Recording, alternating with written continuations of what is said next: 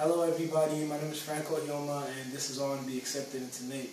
First of all, it's been a long time dream of mine to pursue a career in the entertainment industry of Nigeria as a TV and radio personality because I like everything that has to do with the arts. Things like music, fashion, and acting all interest me. So actualizing my dreams um, will start by coming to NAIT. Um, NAIT will provide me with a secure environment which is very safe and stable for learning.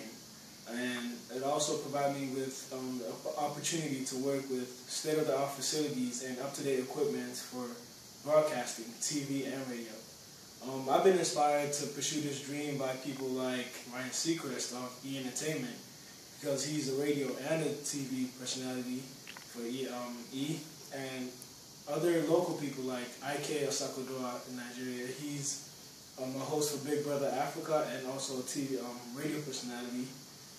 Um, if I'm accepted into NAIT upon graduation, my ideal job is to come back home to Nigeria and work as a TV and a radio personality in the entertainment industry over here because it gives me opportunity to bring things I've learned over there back to Africa.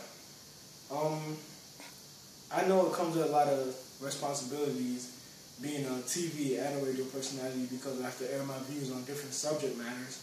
And um, I plan on doing this by watching my language and um, airing views to people because I listen to shows and I will I want people to listen to me too and want to be like me also. Um, I know it comes with a lot of perks and privileges because it's a high paying job so I want to get the perks and privileges that come with being a TV and radio personality. It comes with traveling and touring, meeting a lot of people and all of that. Um, so please, I hope um, this video has been enough for you. Thank you.